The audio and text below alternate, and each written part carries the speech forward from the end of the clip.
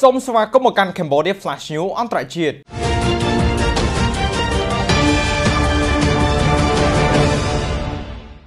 អ៊ុយក្រែនបាននិយាយថាខ្លួននឹងបើកការវាយរំដោះខ្នាតធំផ្ដាច់យកក្រុងបាក់មុតនៃខេត្តដូណេតភាគខាងកើតពីរុស្ស៊ីទាំងអស់មកវិញនៅក្នុងពេលឆាប់ៗនេះ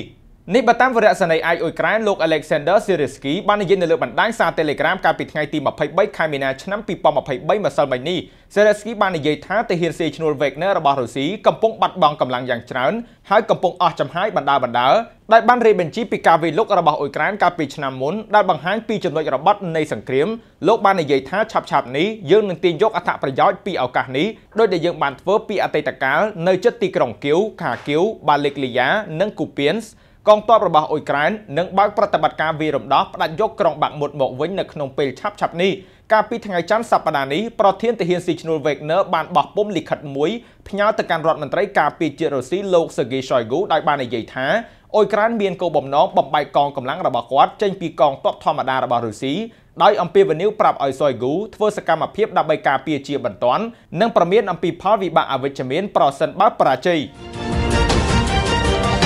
ចិននិយាយថាបានប្រមាននាវាចម្បាំងសហរដ្ឋអាមេរិកឲ្យចាក់ចេញពីដែនទឹកសមុទ្រចិនខាងត្បូងកាលពីថ្ងៃប្រហ័សបន្ទាប់ពីនាវាអាមេរិកបានបើកឆ្លងកាត់ដោយខុសច្បាប់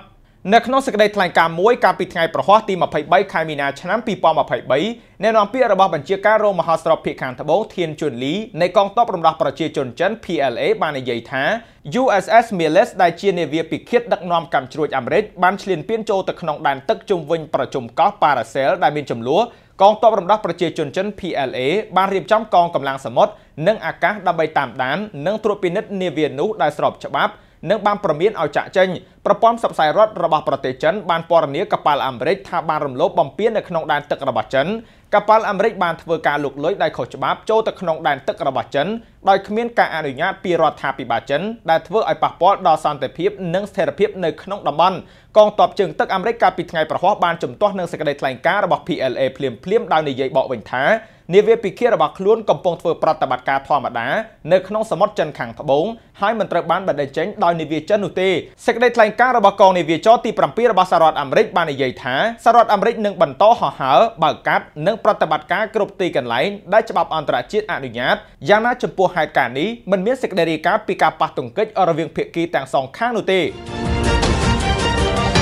ហ្វាំងឡង់នឹងមិនបញ្ជូនយន្តហោះច្បាំង Hornet ម៉ាស៊ីនភ្លួហោះបានជិត2000គីឡូម៉ែត្រនៅក្នុង1ម៉ោងទៅអ៊ុយក្រែនឡើយបើទោះបីជាមានការស្នើសុំអង្វរក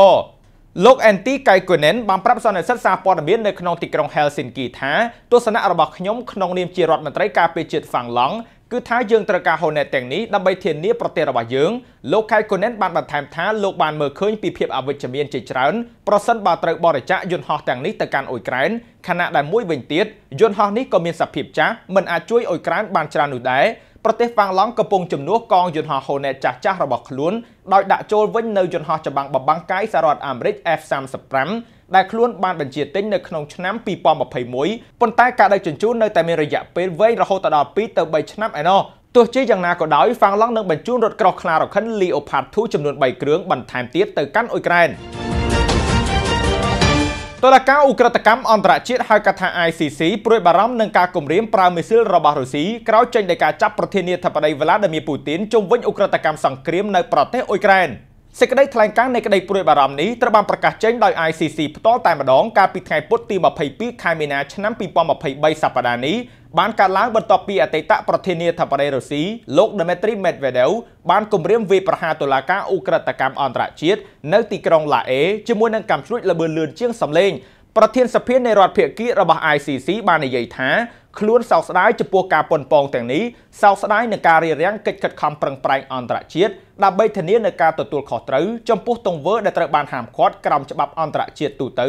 តែយ៉ាងណាតុលាការនឹងមិនផ្លាស់ប្ដូរគោលចំហឡើយលោក Medvedev អតីតប្រធានាធិបតីនិងជាប្រធានសន្តិសុខរុស្ស៊ីបាននិយាយកាលពីថ្ងៃច័ន្ទថាសាកស្រមៃមើលស្រមៃឃើញកំជួយលបឿនលឿនជាងសម្លេងមួយដែលត្រូវបានចេញពីសមុទ្រខាងជើងចេញពីកប៉ាល់រុស្ស៊ីធ្លាក់ចំតុលាការក្រុងឡាអេ គួរបញ្ជាក់ថាដោយការចាប់ខ្លួនរបស់ ICC ទៅលើលោកពូទីនដែលបានចេញពីថ្ងៃសុក្រសប្តាហ៍មុនដោយចោទប្រកាន់មេដឹកនាំរុស្ស៊ីថាបាននិរទេសកុមារអ៊ុយក្រែនរាប់ពាន់នាក់ដោយខុសច្បាប់ជាអ ுக ្រិតកម្មសង្គ្រាមនោះចំណាត់ការផ្លូវច្បាប់នឹងតម្រូវឲ្យរដ្ឋជាសមាជិកចំនួន123របស់ ICC ចាប់ខ្លួនលោកពូទីនហើយផ្ទេរគាត់ទៅកាន់ទីក្រុងឡាអេសម្រាប់ការកាត់ទោសប្រសិនបើលោកពូទីនបានដើរហើរលើទឹកដីរបស់ពួកគេអរគុណសម្រាប់ការតាមដាន Cambodia Flash News អន្តរជាតិ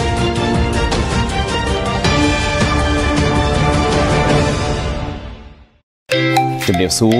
លោកលោកស្រីនាងកញ្ញាថ្ងៃនេះខ្ញុំបានប៉ានចម្រុងមានកិត្តិយសសូមណែនាំឲ្យស្គាល់ចម្រុង Entertainment ចម្រុង Entertainment គឺជាអ្នកឯកទេសផ្ដល់ជូនសេវាកម្មកម្សាន្តនិងរៀបចំកម្មវិធីគ្រប់ប្រភេទសេវាកម្មរបស់យើងមានដូចជាទទួលរៀបចំ និងគ្រប់គ្រងកម្មវិធីគ្រប់ប្រភេទ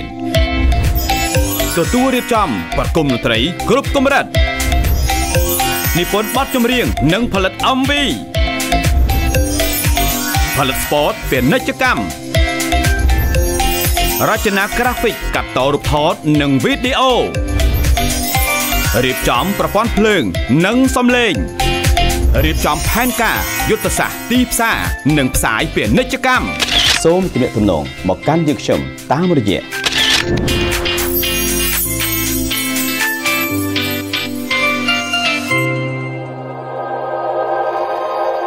គុណភាព ភាពសប្បាយរីករាយ និងទំនុកចិត្តមាននៅ ចម្រុង Entertainment